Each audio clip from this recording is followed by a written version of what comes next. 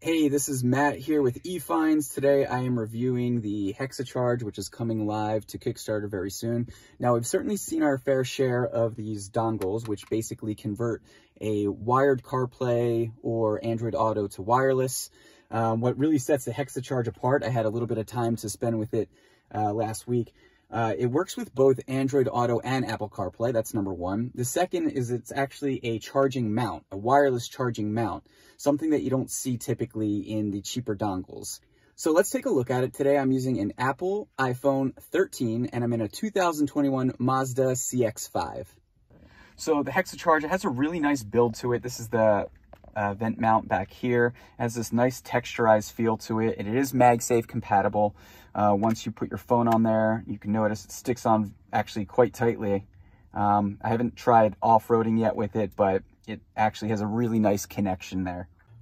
For those of you that do not have MagSafe compatible phones, I do not have it here, but you'll notice in their campaign they have something called the HexaRing, which basically attaches right here to the back of an older iPhone or an Android and that will make sure that you're able to connect here, have that magnetic connection to the HexaCharge.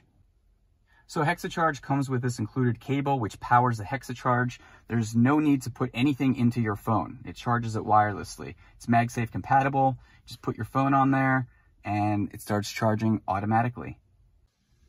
All right, so this is how simple it is to connect. I go into my Bluetooth settings, I turn on Bluetooth, it finds HexaCharge there, I click HexaCharge.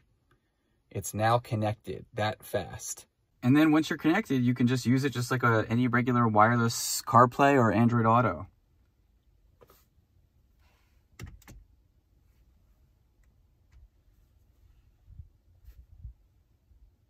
So the HexaCharge comes with the air vent mount, but you can actually just remove this. Once you remove it, it looks like that and it actually has a hexa mount, which you can just put on here. If you don't want to put it on your air vent, if you prefer to have it from your front dashboard, uh, this actually fits on quite firmly and HexaCharge works just straight from your dashboard too.